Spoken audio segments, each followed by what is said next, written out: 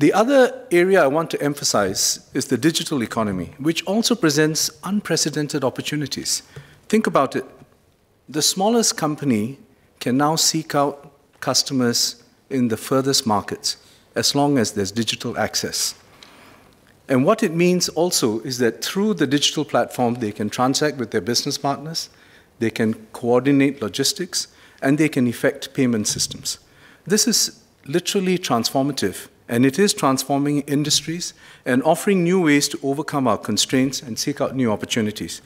And that is why, in the CFE, we've emphasized the importance of enabling our companies to harness digital technologies and platforms. Some companies have already made the move. If I can just give you one example from a very somewhat traditional sector, Hipvan. It's a company in the furniture business, but they have inverted the traditional furniture business model by going online. Customers transact with them over the internet, and then they work through logistics and delivery. And this is a new model for this company, quite different from what we understand to be furniture businesses. So companies are already moving. And similarly, we are seeing good collaborative initiatives from big players and others coming on board. For example, today, just today, Singtel, which is a co-founder of the 99% SME movement, announced a partnership with Lazada to set up an SME e-marketplace. And that will help SMEs tap into a wider online customer base. I can go on and give you many other examples whether it is in advanced manufacturing and Internet of Things, etc. But the, my key point is this. There are significant opportunities available to us.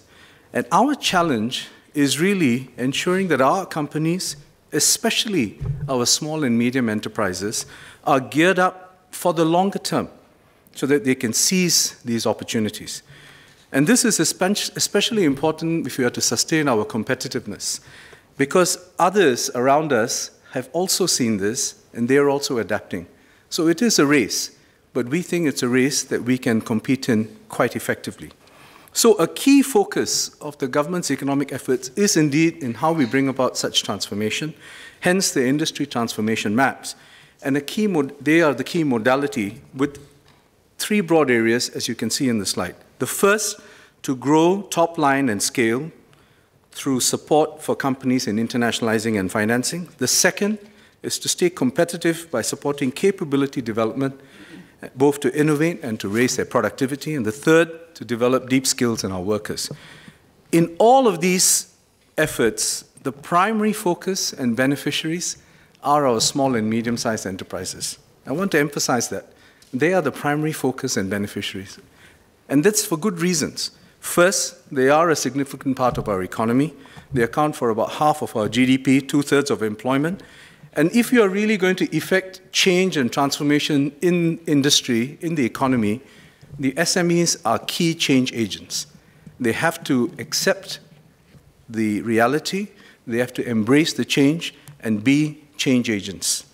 Secondly, individually, SMEs often lack the scale to make the investments that are necessary to cope with the changes taking place and to benefit fully from the technologies as we're talking about them. Finally, we also believe that SMEs are a key engine of growth for the future in Singapore and integral to the competitiveness of our economic clusters. As they scale, SMEs will create more opportunities and jobs for Singaporeans. So the government is resolute in our commitment to help our SMEs make this transformation successfully. Large companies don't necessarily need this breadth and this depth of support.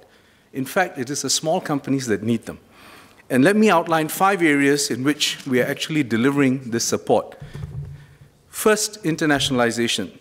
If you are a company taking the first steps towards internationalization, you can tap on IE's market readiness assistance and global company partnerships, etc. There's about $400 million in grants. And essentially, the aim is to help our businesses go international.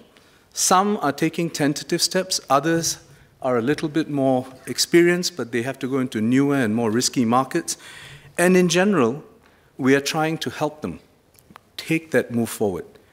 I want to stress here, government can be an enabler, but we cannot make the decision for the company.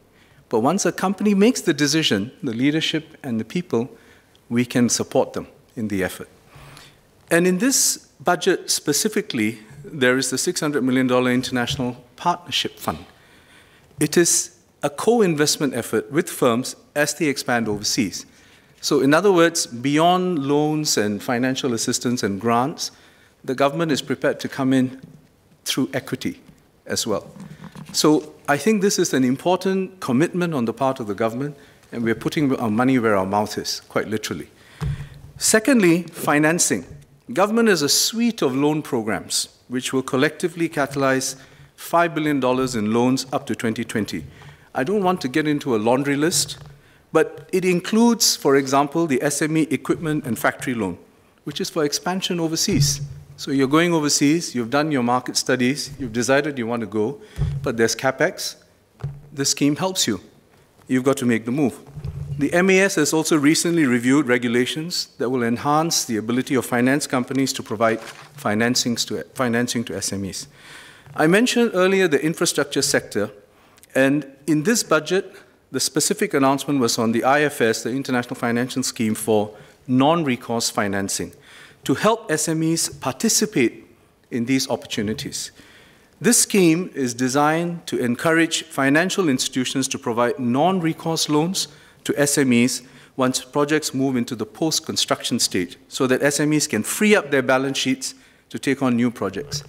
The constraint today is that if I'm a small business going in for a $50, $100 million project in the region, you have to tie up your resources either through personal guarantees or corporate guarantees, and it limits their ability to take on new projects. This scheme is targeted to help our businesses do more and do it in an effective way. Over the next five years, we expect to catalyze $600 million in loans, which will probably correspond to about a billion dollars in infrastructure projects. And I'm talking here about the small businesses, not the big players. Third, on innovation. We want SMEs to create new products and services. That's what they want to do as well, to differentiate themselves in the market, but they are constrained by resources that are available. And I think several members talked about this earlier. So we have a range of schemes. One is to help SMEs commercialize intellectual property through our network of centers of innovation. And a substantial amount of funding has been committed, about 100 million for this. It's to help them build up their innovation capabilities.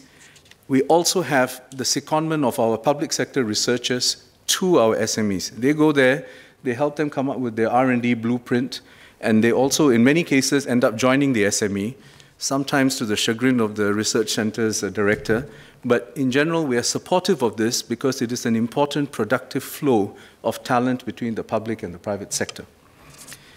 And in this budget, there were two specific ideas which have been mooted and pushed out.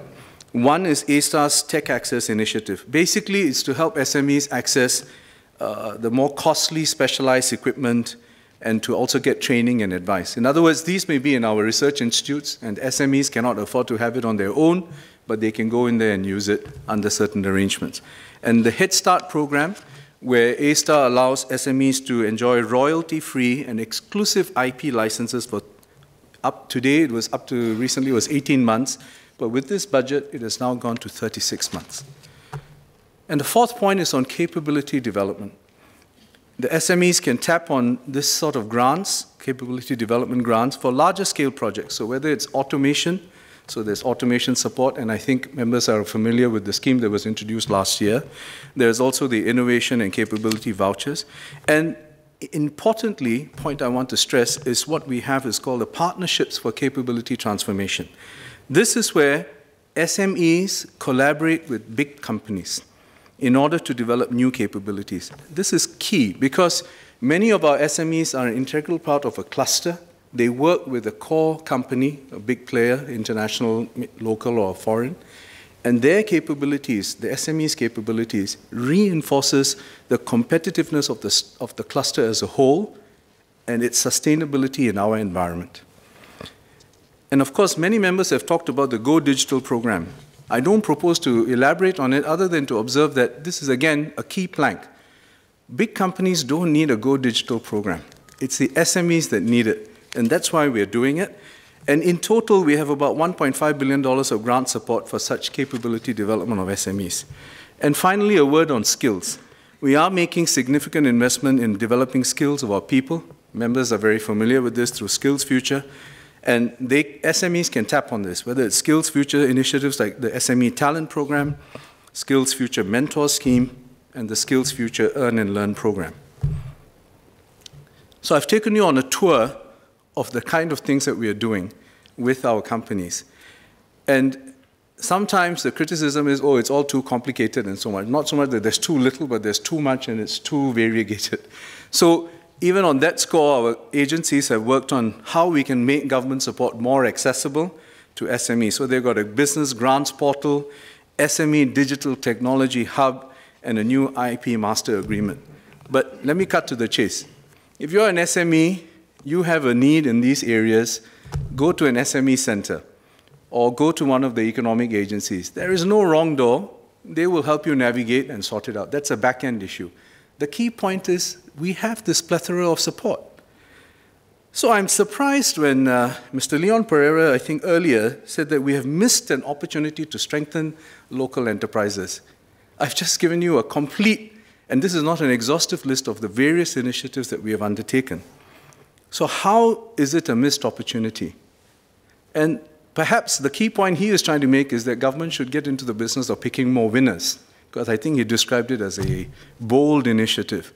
Go in there, back a company. If it fails or doesn't meet up to expectations, pull out. It's an interesting idea, but Mr. Perera has omitted important details and how he would execute this and why government would be the right party to do this. Because if government backs a company, it goes wherever in whatever initiative, and then the initiative goes south, and then government decides that it's going to withdraw the support, I think we can anticipate the kind of debate we would have, and indeed the kind of questions that Mr. Leon Perera will then pose on why did you do it in this way? Why did you waste your funds here, or why did you withdraw your support? So I think we have to have a sense of perspective and balance. Government is an important enabler, government is taking a view on certain industries and directions that we want to go. But fundamentally, what we are trying to say is this you are in an inherently more uncertain environment. Therefore, the emphasis on the broad range of capabilities that I've outlined and this broad scheme of measures that we have are going to be the key platform to raise industries as a whole. Sure, the companies that are prepared to move further and go faster will be better, will receive more support. But that does not mean that we are picking winners. The winners are picking themselves and adapting to our schemes. And I want to emphasize that the impact of such schemes is really significantly amplified when we can get a collaborative effort going. And that is why we have stressed the role of trade associations and chambers. We do not want to substitute business judgment or trade association and chambers assessment of market conditions with bureaucratic views. We want it to be a complementary exercise. So one example I want to just share with members is the logistics industry. Container Depot Association, probably not something that many of you are familiar with, but they have been involved in a major effort in terms of launching electronic container trucking system, container trucking system, and they want to track the movement of their trucks and it's going to enhance their supply chain and how they introduce efficiencies in the way they deploy their fleet and so on. Now, this is an initiative that the CDAS came up with. They worked with Spring, and they've got this executed. And we want to see more of this because they understand the need. Their members tell them what their issues are. We can appreciate that there won't be enough resources, but that's where we come in and we complement. Similarly, Singapore Logistics Association has made initiatives in terms of going into new markets overseas and how they can help smaller businesses do that, and also in the training of our workers. So I hope members will agree with me that there is actually no lack of government resolve or resources that are available to support our companies, especially our SMEs make the transformation. But I know that there is a view, and I think many of us have echoed that sentiment here, that, well, but the current reality is the issue. We have challenges because of the cost and the pain and so on. And the reality also is that the economic situation is variegated. You have sectors like electronics that grew at 15% last year. You have a sector like transport and storage that grew by 2.3% last year. You have a sector like marine and offshore engineering that has contracted for nine successive quarters. How do you come up with a program that is supposed to help SMEs in all of these beyond the measures that we have already undertaken? So these variations are there because the different sectors face diverse cyclical and structural challenges. For example, lower oil prices, and some might argue that this might be a permanent shift, has changed the demand patterns for marine and offshore industry. It doesn't mean that they cannot do business, but they may have to adapt and also look at new opportunities. The retail industry is going through a major change because of disruptive technology, and in particular e-commerce. In fact, the adoption of e-commerce in Singapore is at a lower rate compared to many markets around the world. So if anything, the challenge is going to get greater, not lesser. And it would really be quite futile for us to argue that we should resist such an overwhelming system level change, which in fact, in aggregate, will bring benefit to consumers, to businesses that respond to it and adapt to it, and to the economy as a whole. Having said that, I think we are very clear that we recognize that there are immediate challenges that our SMEs are facing, and we will continue to provide certain forms of short-term relief where they are necessary and through system, the, the system of sort of broad-based support that we have built up over the years. So one example is the wage credit, the special employment credit, and the extension of the additional SEC in this budget till end of 2019. Collectively, this is about $1 billion in cash payouts to businesses in March this year. It's no mean sum. It is a significant outlay from the government to alleviate some of the cost pressure on our businesses. Also, in terms of liquidity, we have introduced SME working capital loans in 2016, which has basically catalyzed about $700 million in loans to about 4,300 SMEs. And then if you go beyond that and you look at the, the broader pattern, I think there was some reference to rental and other business costs. I know that this is an area of concern. It comes up in many of our industry engagement exercises. But the reality also is that industrial, retail, and office rentals have all fallen. And they fell in 2016 as well. And we, on our part, will continue to maintain a steady pipeline of industrial land and, and space to ensure that there's competitive pressure in the market and rentals remain affordable. So let me pull it together and say we have not introduced further broad-based measures because they're not quite warranted and probably not even appropriate for the circumstances that we are in. But we have sustained what we already do, in some cases extended them, and at the same time put in place additional customized support for specific industries because of the circumstances that are quite divergent. And we will continue, as many government leaders have said, we will continue to track the situation closely and intervene where necessary. So if I can just give you an example, marine and offshore engineering sector, in last December, we introduced the Bridging Loans and International Finance Scheme. So it's not a panacea. It's not going to prevent consolidation, which will occur to some extent in the industry. But what it will do is help address some of the liquidity issues that some of the strong companies are facing and potentially also help them get financing for expansion when they go for new projects overseas because there was a general tightening for financing in the sector. Another example is in the construction industry. It has been weighed down by the property market slowdown and economic uncertainties, but we are bringing forward $700 million of public sector infrastructure projects, which will start in FY17 and 18. These measures are an illustration of government responding with a more targeted response and support for SMEs and other businesses. And it is a complement to the broad-based measures we already have in place in response to the varied needs in the economy. And importantly, it is one aspect, even as we look at the longer-term challenge and how we need to gear up for that.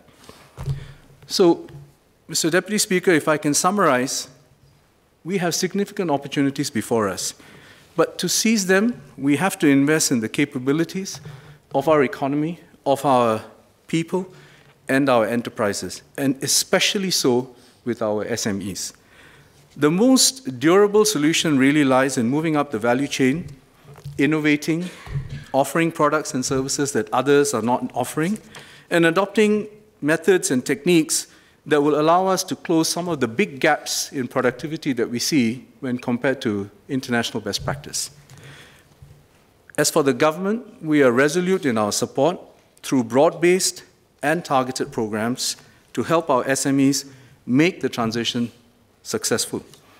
We do not engage in the art, or perhaps Mr. Perera thinks it's a science of picking winners, but we will support companies that are prepared to make these important transitions because they see the benefit and they're prepared to take the important steps to move the organization. And in all of these efforts, the SMEs will be our central focus. So ultimately, creating a vibrant, competitive industry with strong capabilities is the surest way of ensuring success of all our businesses, including the SMEs. And so we look forward to working closely with the trade associations and chambers and the unions to ensure that we have a diverse enterprise ecosystem from startups to SMEs to large local enterprises to multinationals. We have a thriving SME community and an economy that is rich with opportunities. Thank you, Deputy Speaker.